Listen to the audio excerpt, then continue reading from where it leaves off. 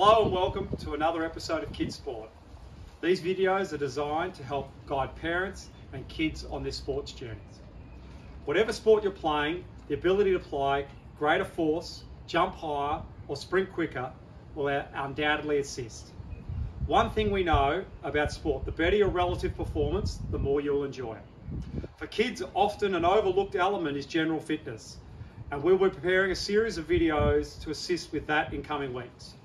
General fitness should never be overlooked as the ability to outwork your competitors and get to more contests and continue to execute the required skill appropriately is and always will be a massive advantage. When most parents ask me what they can do to improve their kids' sports performance, my first answer is always get them fit. In today's tutorial, we're focused on one element of that general fitness journey, and that's jumping higher and sprinting faster. Anything on this channel in terms of athletic advice will be based on empirical studies and proven results.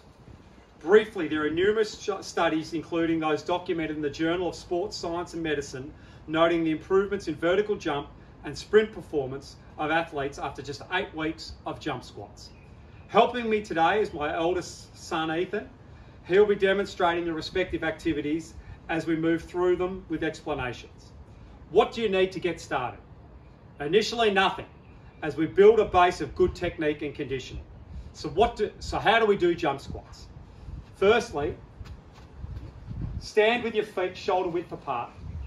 Start by doing a regular squat. Engage your core and then jump explosively. Now back into your squat position. Uh, flat feet. Jump again. So what are we watching for? We're watching for mistakes.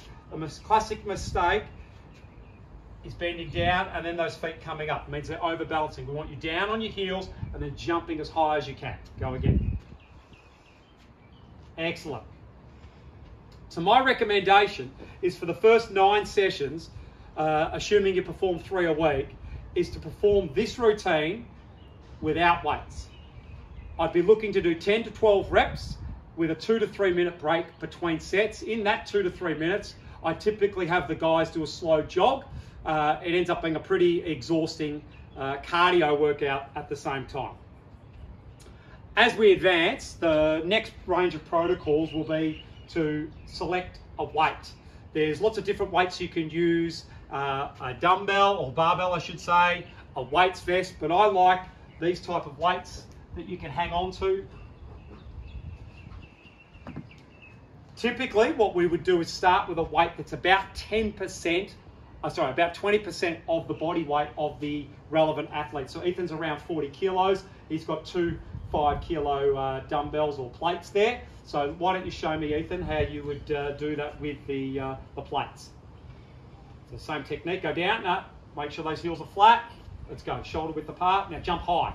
Hard. Good. Now get down, set again. Nah. Sorry. You've got to get those heels flat. So show me the heels flat. Jump high. Stop. Squat down. Flat. Heels flat. Jump high. Excellent. So that's the type of technique that we're wanting to see from him.